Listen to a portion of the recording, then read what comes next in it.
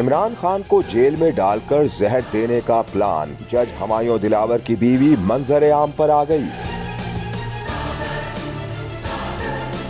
एक निजी टीवी के प्रोग्राम में सीनियर तजियाकार ज़फ़र हिलाली ने गुफ्तगू करते हुए बड़ा इंकशाफ कर दिया। सीनियर तजियाकार ज़फ़र हिलाली का कहना था कि इमरान खान के तोशा खाना केस में अदलिया जज हमायूं दिलावर की वजह से बदनाम होकर रह गई है। पूरी दुनिया में इस जज की वजह से अदलिया की तोहिन हो रही है। सीनियर तजियाकार ज़फ़र हिलाली ने इंकशाफ कर दिया कि जज हमायूं दिलावर की बीवी ने टीवी पर आकर कहा है कि जज हमायूं दिलावर चाहते हैं कि इमरान खान को गिरफ़्तार कर लिया जाए और जेल भेज दिया जाए। और बाद में जेल में ही इमरान खान को जहर दे दिया जाए। इस जज जो एक इम्पोर्टेंट केस पे आके बैठा हुआ है उसकी हरकतें जो उसकी वाइफ ने टेलीविज़न पे बताया है भाई उसकी बीबी ने टेलीविज़न पे आके कहा है कि ये चाहता है कि आप इमरान जो ये पीटीआई के लीडर को जेल भेजें।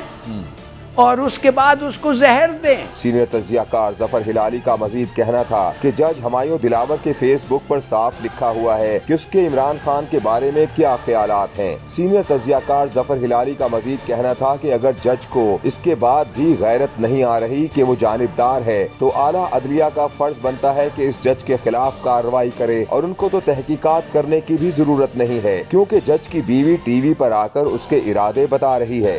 उसके क्या कहते हैं फेसबुक पे लिखा हुआ है, उसके क्या फीलिंग्स हैं इनके बारे में।